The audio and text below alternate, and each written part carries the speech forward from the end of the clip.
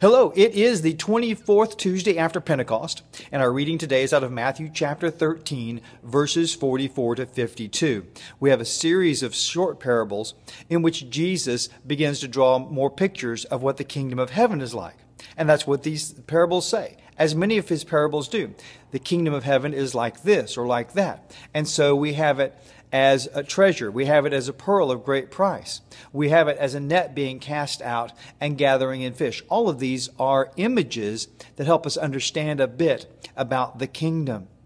And then he says that a, a, scribe of the kingdom will bring out of his storehouse treasures new and old. And so we have to remember that Jesus is not down on scribes. Jesus is not down on scholarship but it's those scribes that are scribes of the kingdom. It was the scribes that were opposing his messiahship to whom he was opposed and to whom he was preaching.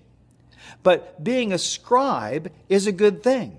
Jesus is expecting that there will be those who will search out and develop teaching from Jesus' teaching.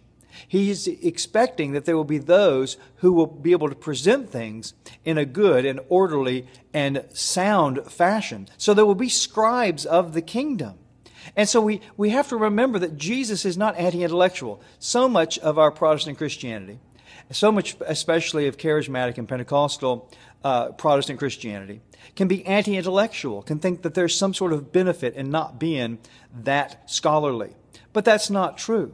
Even the unlearned fishermen, uh, you know, uh, that the, the Jewish leaders made fun of, actually had sat at the feet of Jesus for three years.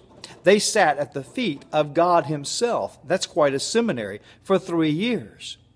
You know, when God was pre- preparing to have the New Testament written, most of it was written by St. Paul, a great scholar of his day. So we have to remember, remember that there's an important role to be played in being a scribe of the kingdom.